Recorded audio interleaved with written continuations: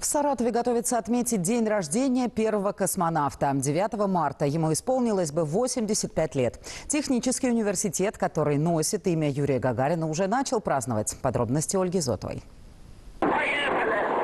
Эти кадры вошли не только в историю покорения космоса, но и всего человечества. А голос первого космонавта планеты узнают миллионы. 9 марта Юрию Гагарину исполнилось бы 85. В Саратовском государственном техническом университете, носящем его имя, пройдут сразу несколько памятных мероприятий.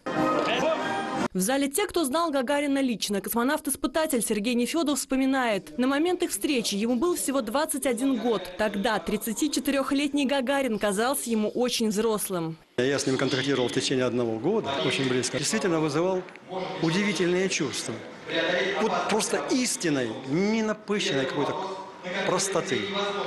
Вот. В общении, в умении, в улыбке. Со сцены звучат напутствия в адрес студентов-гагаринцев, тех, кто связал свою жизнь с техническими науками. Университет готовит специалистов для инженерного, космического и оборонно-промышленного комплекса нашей страны, IT-отрасли, а также сфер, активно применяющих нанотехнологии и робототехнику. Мы очень уверены в вас, в нашей молодежи, в нашем будущем – Счастья вам, добра, всех благ. Техническое образование ежегодно выбирают сотни абитуриентов. В стенах СГТУ уже студентами познают основы точных наук. Студентам можно пожелать брать пример с Юрия Алексеевича, ставить себе цель, идти к ней и не бояться трудностей. Празднование юбилея в СГТУ продолжило заседание круглого стола «Эпоха Гагарина. Вызовы и приоритеты». Ученые говорили о развитии электроники и приборостроения, космическом стиле в архитектуре, проблемах и перспективах Роскосмоса.